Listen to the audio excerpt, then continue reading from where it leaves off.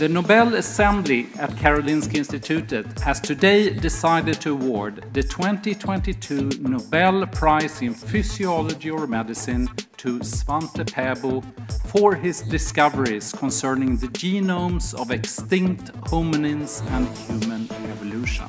Of addressing these intriguing questions, DNA holds the